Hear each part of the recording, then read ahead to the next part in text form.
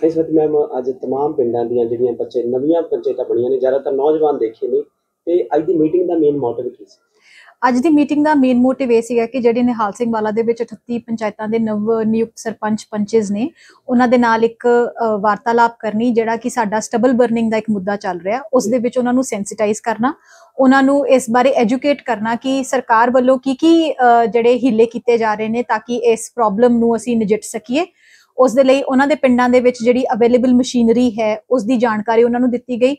ਉਸ ਤੋਂ ਇਲਾਵਾ ਜਿਹੜੀ ਸੁਸਾਇਟੀਆਂ ਦੇ ਵਿੱਚ ਮਸ਼ੀਨਰੀਆਂ ਉਪਲਬਧ ਨੇ, ਉਹਦੀ ਜਾਣਕਾਰੀ ਉਹਨਾਂ ਨੂੰ ਦਿੱਤੀ ਗਈ। ਤੇ ਉਸ ਤੋਂ ਇਲਾਵਾ ਉਹਨਾਂ ਨੂੰ ਦੱਸਿਆ ਗਿਆ ਕਿ ਸਰਕਾਰ ਦੀਆਂ ਹਦਾਇਤਾਂ ਮੁਤ- ਹਦਾਇਤਾਂ ਮੁਤਾਬਕ ਸੁਪਰੀਮ ਕੋਰਟ ਦੀਆਂ ਜਿਹੜੀਆਂ ਹਦਾਇਤਾਂ ਸਪੈਸ਼ਲੀ ਆ ਰਹੀਆਂ ਨੇ, ਤੁਸੀਂ ਖਬਰਾਂ ਦੇ ਵਿੱਚ ਵੀ ਸੁਣਦੇ ਹੋਵੋਗੇ, ਉਸ ਦੇ ਮੁਤਾਬਕ ਜਿਹੜਾ ਵੀ ਕੋਈ ਇਹੋ ਜਿਹਾ ਕਿਸਾਨ ਸਟਬਲ ਬਰਨਿੰਗ ਕਰਦਾ, ਉਸ ਦੇ ਉੱਤੇ ਸਖਤ ਕਾਰਵਾਈ ਦੇ ਆਦੇਸ਼ ਸਾਨੂੰ ਪ੍ਰਾਪਤ ਹੋਏ ਆ। ਸੇ, ਅਸੀਂ ਇਸ ਮੁੱਦੇ ਦੀ ਸਵੈਰਿਟੀ ਨੂੰ ਅੱਗੇ ਪਾਸ ਔਨ ਕਰਨਾ ਚਾਹੁੰਦੇ ਸੀ ਤਾਂ ਕਿ ਇਹਨਾਂ ਦੇ ਆਸੇ-ਪਾਸੇ ਜਿਹੜੇ ਵੀ ਕਿਸਾਨ most of them are themselves farmers ਜਿਹੜਾ ਅੱਜ ਬੜਾ ਅੱਛਾ ਲੱਗਿਆ ਜਾਣ ਕੇ ਕਿ ਉਹਨਾਂ ਦੇ ਵਿੱਚੋਂ ਜਿਹੜੇ ਸਾਰੇ ਹੀ ਨੇ ਜਿਹੜੇ ਉਹ ਸਟਬਲ ਬਰਨ ਨਹੀਂ ਕਰਦੇ ਨੇ, ਜਿਹੜਾ ਕਿ ਬਹੁਤ ਅੱਛਾ ਇੱਕ ਮੈਸੇਜ ਜਾਂਦਾ ਹੈ। ਸੋ ਬੇਸਿਕਲੀ ਅੱਜ ਇੱਕ ਸੈਂਸਿਟਾਈਜੇਸ਼ਨ ਮੀਟਿੰਗ ਰੱਖੀ ਗਈ, ਉਹਨਾਂ ਨੂੰ ਜਾਣੂ ਕਰਵਾਇਆ ਗਿਆ। ਇਸ ਆਸ ਦੇ ਨਾਲ ਕਿ ਅਸੀਂ ਅੱਗੇ ਆਉਣ ਵਾਲੇ ਸਮੇਂ ਦੇ ਵਿੱਚ ਹਾਲੇ ਤੱਕ ਨਿਹਾਲ ਸਿੰਘ ਵਾਲਾ ਦੇ ਵਿੱਚ ਕੋਈ ਸਟਬਲ ਬਰਨਿੰਗ ਦਾ ਇਨਸੀਡੈਂਟ ਨਹੀਂ ਹੋਇਆ ਤੇ ਅੱਗੇ ਆਉਣ ਵਾਲੇ ਸਮੇਂ ਦੇ ਵਿੱਚ ਵੀ ਕੋਈ ਇਨਸੀਡੈਂਟ ਨਾ ਹੋਵੇ। ਨਹੀਂ ਪਹਿਲੀ ਮੀਟਿੰਗ ਮੇਰਾ ਖਿਆਲ ਹੋਈ ਹੈ ਨਿਹਾਲ ਸਿੰਘ ਵਾਲਾ ਦੇ ਵਿੱਚ। ਕੀ ਕਹਿਣਾ ਚਾਹੋਗੇ? ਕਿਉਂਕਿ ਕਦੇ ਵੀ ਇਸ ਤਰ੍ਹਾਂ ਦੀ ਕੋਈ ਮੀਟਿੰਗ ਦੇਖਣ ਨੂੰ ਨਹੀਂ ਮਿਲੀ ਜਿਹਨੇ ਸਾਰੇ ਇਹ ਅੱਜ ਦੀ ਇੱਕ ਐਕਸਕਲੂਸਿਵ ਮੀਟਿੰਗ ਇਹਨਾਂ ਦੇ ਨਾਲ ਨਵ ਨਿਯੁਕਤ ਜਿਹੜੇ ਹਜੇ ਇਹਨਾਂ ਦੀ ਨਿਯੁਕਤੀ ਇਨਫੈਕਟ ਹਜੇ ਹੋਣੀ ਹੈ ਹਜੇ ਪੰਚਾਇਤਾਂ ਦੇ ਵਿੱਚ ਪ੍ਰਬੰਧਕ ਹੀ ਨੇ ਬਟ ਇਹ ਆਉਣ ਵਾਲੇ ਸਮੇਂ ਦੇ ਵਿੱਚ ਇਹਨਾਂ ਨੇ ਅਹ, ਇਹਦਾ ਭਾਗ ਦੌੜ ਸੰਭਾਲਣੀ ਹੈ ਪੰਚਾਇਤਾਂ ਦੀ। ਸੋ ਸਾਡਾ ਮਕਸਦ ਇਹੀ ਸੀਗਾ ਕਿ ਇਹਨਾਂ ਦੀ ਸੈਂਸਿਟਾਈਜੇਸ਼ਨ ਬਹੁਤ ਜ਼ਰੂਰੀ ਹੈ ਕਿਉਂਕਿ ਇਹਨਾਂ ਨੂੰ ਲੋਕਾਂ ਨੇ ਚੁਣਿਆ ਹੈ ਇਹਨਾਂ ਨੂੰ ਮੋਢੀ ਬਣਾਇਆ ਹੈ। ਸੋ ਇਸ ਕਰਕੇ ਇਸ ਤੋਂ ਪਹਿਲਾਂ ਜਿਹੜੇ ਸਾਡੇ ਐਗਰੀਕਲਚਰ ਵਿਭਾਗ ਹੈ ਉਹਨਾਂ ਨੇ ਸਾਰੇ ਪਿੰਡਾਂ ਦੇ ਵਿੱਚ ਲਗਾਤਾਰ ਕੈਂਪ ਲਾਏ ਨੇ। ਸਾਡੇ ਸਾਰਾ ਐਡਮਿਨਿਸਟ੍ਰੇਸ਼ਨ ਜਿਹੜਾ ਹੈਗਾ ਸੀ, ਇਹਨਾਂ ਦੀ ਟੀਮਾਂ ਬਣਾ ਕੇ cluster officers nodal officers already field ਦੇ ਵਿੱਚ ਵਿਜ਼ਿਟ ਕਰ ਰਹੇ ਨੇ, ਕਿਸਾਨਾਂ ਨੂੰ ਮਿਲ ਰਹੇ ਨੇ, ਉਹਨਾਂ ਨੂੰ ਇਸ ਬਾਰੇ ਜਾਣੂ ਕਰਾ ਰਹੇ ਨੇ। ਸੋ ਥੈਂਕਫੁਲੀ ਕੋਈ ਇਨਸੀਡੈਂਟ ਹਜੇ ਰਿਪੋਰਟ ਨਹੀਂ ਹੋਇਆ ਤੇ ਜੇ ਸਾਨੂੰ ਇਸ ਗੱਲ ਦਾ ਜੇ ਖਦਸ਼ਾ ਤੇ ਹੈ ਕਿ ਵੀ ਅੱਗੇ ਆਉਣ ਵਾਲੇ ਸਮੇਂ 'ਚ ਜਦੋਂ ਕਿ ਵਾਢੀ ਪੂਰੀ ਚਰਮ ਤੇ ਹੋਏਗੀ, ਉਦੋਂ ਲੱਗ ਸਕਦੀ ਹੈ। ਉਸ ਨੂੰ ਧਿਆਨ 'ਚ ਰੱਖਦੇ ਹੋਏ ਅਸੀਂ ਅੱਜ ਇੱਕ ਐਕਸਕਲੂਸਿਵ ਮੀਟਿੰਗ ਕੀਤੀ ਹੈ ਬਿਕਾਜ਼ ਇਹ ਹਜੇ ਹੁਣੇ ਚੁਣ ਕੇ ਆਏ ਨੇ ਤੇ ਇਹਨਾਂ ਦਾ ਮੈਸੇਜ ਜਿਹੜਾ ਇਹ ਕਰਨਗੇ ਡਿਸਮਿਨੇਟ ਉਹ ਬਹੁਤ ਲੋਕਾਂ ਤੱਕ ਪਹੁੰਚੂਗਾ ਵੀ। ਝੋਨੇ ਦਾ ਸੀਜ਼ਨ ਮੈਮ ਅਜੇ ਸਟਾਰਟ ਹੋਇਆ ਔਰ ਬਹੁਤ ਸਾਰੇ ਕਿਸਾਨ ਆ ਜਿਹੜੇ ਉਹ ਖਰੀਦ ਨੂੰ ਲੈ ਕੇ ਧਰਨੇ ਬਜ਼ਾਰੇ ਕਰ ਰਹੇ ਨੇ। ਤੇ ਦੂਜੇ ਪਾਸੇ ਜੇ ਪੰਚਾਇਤਾਂ ਦੀ ਗੱਲ ਕਰੀਏ ਕੁਝ ਕੁ ਸਰਪੰਚ ਆ ਜਿਹੜੇ ਖੁਦ ਵੀ ਖੇਤੀ ਕਰਦੇ ਨੇ ਉਹਨਾਂ ਦਾ ਕਹਿਣਾ ਸੀ ਕਿ ਜਿਹੜੇ ਲੋਕ ਆ ਕਿਵੇਂ ਸਮਝਾਇਆ ਜਾ ਸਕਦਾ ਜਿਹੜੇ ਛੋਟੇ ਕਿਸਾਨ ਨੇ ਉਹ ਕੀ ਕਰਦੇ ਇਹਦੇ ਵਿੱਚ ਦੇਖੋ ਖਰੀਦ ਤੇ ਸਟਬਲ ਬਰਨਿੰਗ ਇਹ ਦੋ ਅੱਡ ਮੁੱਦੇ ਨੇ। ਇਹਨਾਂ ਦਾ ਕੋਈ ਇੰਟਰਲਿੰਕਿੰਗ ਨਹੀਂ ਹੈਗਾ। ਜਿਹੜੇ ਉਹ ਮਸਲੇ ਨੇ ਉਹਨਾਂ ਦਾ ਸਮਾਧਾਨ ਜਿਹੜਾ ਹੈਗਾ ਸਟੇਟ ਲੈਵਲ ਤੇ ਕੱਢਿਆ ਜਾ ਰਿਹਾ ਹੈ। That is a pan Punjab problem ਤੇ ਸਟਬਲ ਬਰਨਿੰਗ ਵੀ ਜਿਹੜਾ ਹੈਗਾ ਇੱਕ ਪੈਨ ਪੰਜਾਬ ਪ੍ਰੋਬਲਮ ਹੀ ਹੈ ਬਟ ਇਹਦਾ ਜਿਹੜਾ ਆਪਾਂ ਹੱਲ ਹੈ, ਉਹ ਅਸੀਂ ਆਪਣੇ ਪੱਧਰ ਤੇ ਕੱਢ ਸਕਦੇ ਹਾਂ। ਜਿਸ ਤਰ੍ਹਾਂ ਕਿ ਤੁਹਾਨੂੰ ਮੈਂ ਦੱਸਿਆ ਕਿ ਅਸੀਂ ਲੋਕਾਂ ਨੂੰ ਸਬਸਿਡੀ ਲੋਨ ਦੇ ਕੇ ਲੋਕਾਂ ਨੇ ਆਪ ਦੇ ਸੁਪਰ ਸੀਡਰ ਟਿਲਰਸ ਰੋਟਾਵੇਟਰਸ ਵਗੈਰਾ ਖਰੀਦੇ ਨੇ। ਸੋ ਅਸੀਂ ਉਹਨਾਂ ਸਾਰੇ ਲੋਕਾਂ ਦੀ ਮੈਪਿੰਗ ਕਰਨਾ ਚਾਹੁੰਦੇ ਕਿ ਜਦੋਂ ਉਹ ਆਪਣੀ ਸਟਬਲ ਬਰਨਿੰਗ ਦੀ ਮੈਨੇਜਮੈਂਟ ਕਰਕੇ ਦੂਜਿਆਂ ਦੀ ਮਦਦ ਕਰਨ ਲਈ ਆਣ ਸੋ ਇਹ ਦੋ ਮੁੱਦੇ ਅੱਡ-ਅੱਡ ਨੇ। ਤੇ ਪਰ ਕਿਸਾਨ ਇਹਦੇ ਵਿੱਚ ਇੱਕ ਕਾਮਨ ਲਿੰਕ ਹੈ। ਸੋ ਕਿਸਾਨ ਦੇ ਉੱਤੇ ਇਸ ਵੇਲੇ ਜਿਹੜਾ ਅਸੀਂ ਮੰਨਦੇ ਹਾਂ ਇਸ ਗੱਲ ਨੂੰ ਕਿ ਉਹਨਾਂ ਦੇ ਲਈ ਕਾਫੀ ਕੰਮ ਹੈ ਜੋ ਉਹਨਾਂ ਨੇ ਨਜਿੱਠਣਾ ਹੈ ਤੇ ਉਹਦੇ ਵਿੱਚ ਐਡਮਿਨਿਸਟ੍ਰੇਸ਼ਨ ਉਹਨਾਂ ਦਾ ਪੂਰਾ ਸਹਿਯੋਗ ਦੇ ਰਹੀ ਹੈ। ਜਿਸ ਤਰੀਕੇ ਨਾਲ ਛੋਟੇ ਕਿਸਾਨ ਆ ਜੀ, ਤੇ ਉਹਨਾਂ ਦਾ ਕਹਿਣਾ ਸੀ ਕਿ ਸਾਡੇ ਕੋਲੇ ਜਿਹੜੇ ਸੰਦਾਂ ਦੀ ਕਮੀ ਹੈ ਜੀ ਉਹ ਨੇ ਜਿਹੜੇ ਜੀ ਤੁਸੀਂ ਕਹਿ ਰਹੇ ਸੀ ਕਿ ਉਹਨਾਂ ਨਾਲ ਸੰਪਰਕ ਕਰ ਸਕਦੇ ਨੇ ਉਹਨਾਂ ਦੇ ਕੋਈ ਕੰਟੈਕਟ ਨੰਬਰ ਬਿਲਕੁਲ ਅਸੀਂ ਅੱਜ ਇਹੀ ਦੱਸਿਆ ਕਿ ਜੇ ਕਿਸੇ ਛੋਟੇ ਕਿਸਾਨ ਨੂੰ ਇਹ ਵੀ ਦਿੱਕਤ ਹੈ ਕਿ ਉਹ ਪਰਾਲੀ ਨੂੰ ਅੱਗ ਨਹੀਂ ਲਾਣਾ ਚਾਹੁੰਦੇ ਤੇ ਉਹ ਸਿੱਧਾ ਐਗਰੀਕਲਚਰ ਅਫਸਰ ਦੇ ਨਾਲ ਸੰਪਰਕ ਕਰ ਸਕਦੇ ਨੇ ਤੇ ਅਸੀਂ XC2 ਮੈਨੇਜਮੈਂਟ ਇਹ ਜ਼ਰੂਰੀ ਨਹੀਂ ਕਿ ਪਰਾਲੀ ਦਾ ਪ੍ਰਬੰਧ ਅਸੀਂ ਆਪਣੇ ਖੇਤ 'ਚ ਹੀ ਕਰਨਾ ਹੈ। ਕਈ ਵਾਰੀ ਸਾਡੇ ਟਾਈ ਅਪਸ ਹੁੰਦੇ ਨੇ ਫੈਕਟਰੀਆਂ ਵੱਡੀਆਂ ਫੈਕਟਰੀਆਂ ਇੰਡਸਟਰੀਜ਼ ਦੇ ਨਾਲ ਜਿਹੜਾ ਕਿ ਪਰਾਲੀ ਨੂੰ ਲੈ ਕੇ ਜਾਂਦੇ ਨੇ। ਉਹਦੇ ਵਾਸਤੇ ਉਹ ਇਹ ਉਹਨੂੰ ਸੰਪਰਕ ਕਰ ਸਕਦੇ ਨੇ।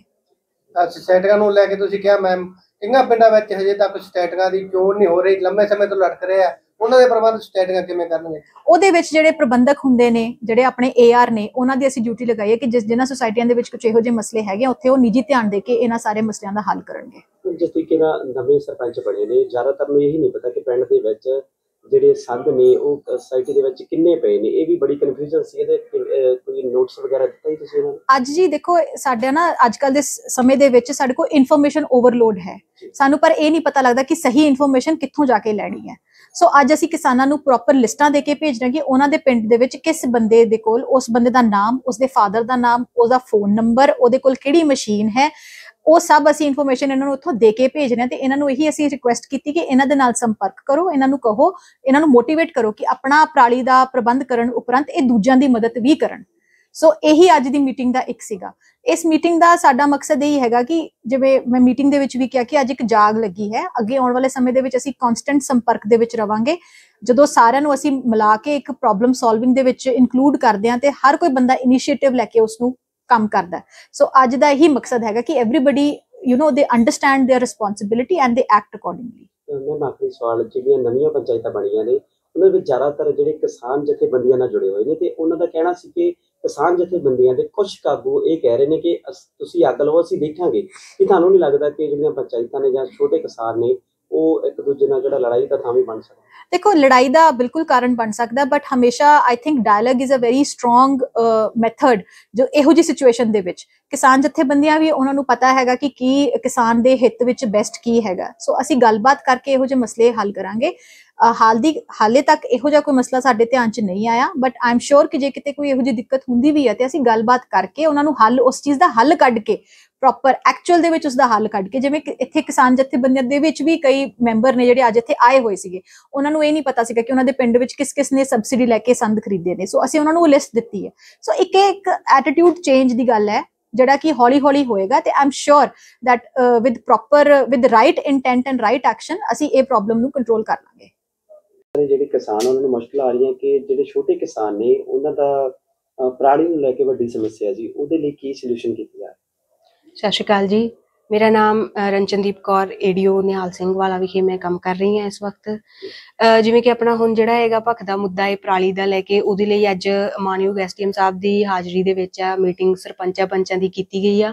ਜਿਹਦੇ ਵਿੱਚ ਕੀ ਹੈ ਕਿ ਜਿਹੜੇ ਆਪਣੇ ਛੋਟੇ ਕਿਸਾਨਾਂ ਦੀ ਜਿਵੇਂ ਤੁਸੀਂ ਸਾਨੂੰ ਕਿਹਾ ਹੈਗਾ ਕਿ ਸਮੱਸਿਆ ਆ ਰਹੀ ਆ ਉਹ ਸਾਰੇ ਸਰਪੰਚਾਂ ਨੂੰ ਆ ਜਿਹੜੀ ਪੰਚਾਂ ਨੂੰ ਅਸੀਂ ਲਿਸਟ ਪ੍ਰੋਵਾਈਡ ਕਰਤੀ ਆ ਕਿ ਜਿੱਥੇ ਜਿੱਥੇ ਵੀ ਮਸ਼ੀਨਰੀ ਆ ਪਿੰਡ 'ਚ ਅਵੇਲੇਬਲ ਆ ਤੇ ਉਹ ਸਾਰੀ ਆ ਜਿਹੜੀ ਆ ਡਿਟੇਲ ਅਸੀਂ ਉਹਨਾਂ ਨੂੰ ਦੇਤੀ ਆ। ਬਾਕੀ ਖੇਤੀਬਾੜੀ ਤੇ ਕਿਸਾਨ ਭਲਾਈ ਵਿਭਾਗ ਵੱਲੋਂ ਕੈਂਪਾਂ ਜਿਹੜੇ ਆ ਉਹ ਲਗਾਏ ਜਾ ਚੁੱਕੇ ਆ ਤੇ ਹੁਣ ਵੀ ਆ ਜਿਹੜੀ ਆ ਉਹ ਖੇਤਾਂ ਦੇ ਵਿੱਚ ਆ ਜਿਹੜਾ ਹੈਗਾ ਮਹਿਕਮੇ ਵੱਲੋਂ ਗਸ਼ਤ ਕੀਤੀ ਜਾ ਰਹੀ ਹੈ ਕਿਸੇ ਵੀ ਕਿਸਾਨ ਨੂੰ ਕਿਸੇ ਤਰ੍ਹਾਂ ਦੀ ਸਮੱਸਿਆ ਆਉਂਦੀ ਆ ਤਾਂ ਹਰੇਕ ਸਰਕਲ ਦਾ ਜਿਹੜਾ ਹੈਗਾ ਇੰਚਾਰਜ ਆ ਉੱਥੇ ਉਹਨਾਂ ਨੂੰ ਜਿਹੜਾ ਹੈਗਾ ਅਵੇਲੇਬਲ ਮਿਲੂਗਾ ਜੀ। ਮੈਂ ਜੀ ਆਪਣੇ ਸਾਰੇ ਹੀ ਕਿਸਾਨ ਵੀਰਾਂ ਨੂੰ ਆ ਜਿਹੜਾ ਇਹ ਹੱਥ ਜੋੜ ਕੇ ਬੇਨਤੀ ਕਰਦੀ ਆ ਜੀ ਕਿ ਹਰੇਕ ਮਤਲਬ ਕਿ ਕਿਸਾਨ ਵੀਰ ਆ ਸਾਡੇ ਨਾਲ ਹੁਣ ਤੁਹਾਡੀ ਵੀ ਜਿਹੜੀ ਵਾਤਾਵਰਣ ਦੀ ਜ਼ਿੰਮੇਵਾਰੀ ਉਨੀ ਬਣਦੀ ਆ ਜੀ। ਕਿਸੇ ਤਰ੍ਹਾਂ ਦੀ ਕੋਈ ਸਮੱਸਿਆ ਆਉਂਦੀ ਆ ਤਾਂ ਸਾਡੇ ਨਾਲ ਸੰਪਰਕ ਕਰੋ ਤੇ ਇਸ ਵਾਰੀ ਤੁਸੀਂ ਪਰਾਲੀ ਨੂੰ ਜਿਹੜਾ ਅੱਗ ਲਾਉਣ ਤੋਂ ਗੁਰੇਜ਼ ਕਰਨਾ ਬਿਲਕੁਲ ਅੱਗ ਨਹੀਂ ਲਾਉਣਾ ਜੀ। ਇਹ ਜਿਹੜੀ ਆ ਮਹਿਕਮੇ ਵੱਲੋਂ ਆ ਜਿਹੜੀ ਆ ਮੈਂ ਤੁਹਾਨੂੰ ਬੇਨਤੀ ਕਰਦੀ ਹਾਂ ਜੀ। ਮੈਂ ਕਰਿਸ਼ਮਾ ਪਿੰਗਾਨ ਸਹਾਇਕ ਰਜਿਸਟਰ ਸਹਿਕਾਰੀ ਸੁਭਾਵਾਂ ਨਿਹਾਲ ਸਿੰਘ ਵਾਲਾ ਤੋਂ। ਤੇ ਆਪਣੇ ਕੋਲ ਮੈਂ ਇਹ ਮੈਸੇਜ ਦੇਣਾ ਚਾਹਾਂਗੀ ਕਿ ਕਿਸਾਨ ਵੀਰਾਂ ਨੂੰ ਆਪਣੀ ਸੋਸਾਇਟੀ 'ਚ ਸੰਦ ਅਵੇਲੇਬਲ ਨੇ। ਜਿਨ੍ਹਾਂ ਨੂੰ ਵੀ ਲੋੜ ਹੈ, ਉਹ ਸੁਸਾਇਟੀ 'ਚ ਆ ਕੇ ਆਪਣਾ ਸੰਦ ਯੂਜ਼ ਕਰ ਸਕਦੇ ਆ ਤੇ ਜਿੱਥੇ ਜਿਹਨੂੰ ਕਿਸੇ ਵੀ ਕਿਸਾਨ ਵੀਰ ਨੂੰ ਕੋਈ ਤਰ੍ਹਾਂ ਦੀ, ਕਿਸੇ ਤਰ੍ਹਾਂ ਦੀ ਕੋਈ ਦਿੱਕਤ ਆਂਦੀ ਹੈ, ਉਹ ਆਫਿਸ ਨਿਹਾਲ ਸਿੰਘ ਵਾਲਾ ਆ ਕੇ ਆਪਣੀ ਸਮੱਸਿਆ ਸ਼ੇਅਰ ਕਰ ਸਕਦਾ ਤੇ ਅਸੀਂ ਬਸ ਇਹੀ ਰਿਕੁਐਸਟ ਕਰਾਂਗੇ ਕਿ ਇਸ ਵਾਰੀ ਪਰਾਲੀ ਪਰਾਲੀ ਸਾੜਨ ਤੋਂ ਗਰੇਜ ਕੀਤਾ ਜਾਵੇ।